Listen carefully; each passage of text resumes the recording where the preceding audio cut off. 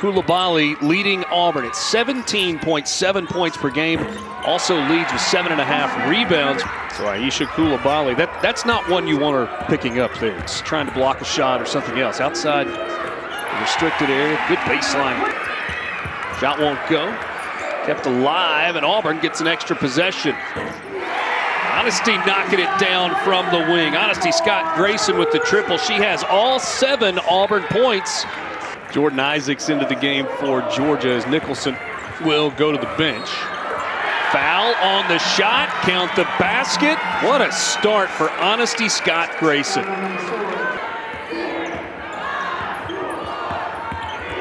Shot clock winding down on the drive. Sanaya Wells, that gives Auburn its biggest lead up three at 15-12. We've seen Wells score a couple of baskets, so other players are just going to have to step up. Clock inside five. How about that? Step up for Jayla Jordan off the bench. An isolation there for Grayson. But I love that high-low look right there. Great pass off of the high-low. Um, how, how does your body feel? And she is able to say, you know what, I'm going to come back from all of these things. Wow.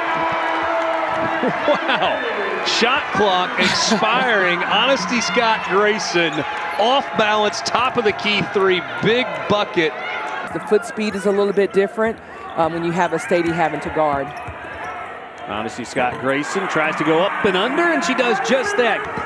We'll see if Georgia just immediately starts pounding the post to Jenna Stady. For that, though, Coulibaly lets it fly and knocks out the three. Wells turns down the three. Gives it off to Honesty Scott Grayson. Big three for her. Boy, Auburn needed that basket. They get it back to a four-point game.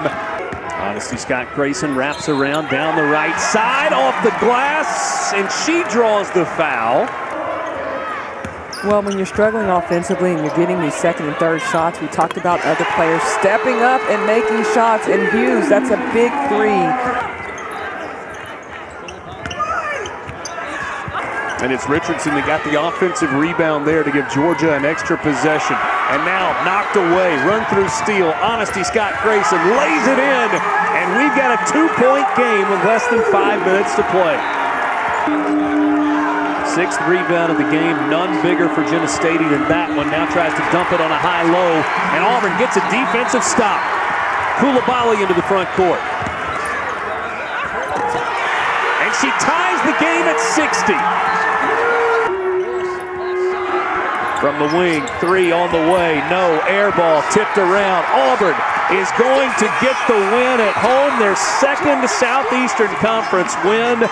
What a performance by Honesty Scott Grayson. What a performance in the second half by Aicha Coulibaly.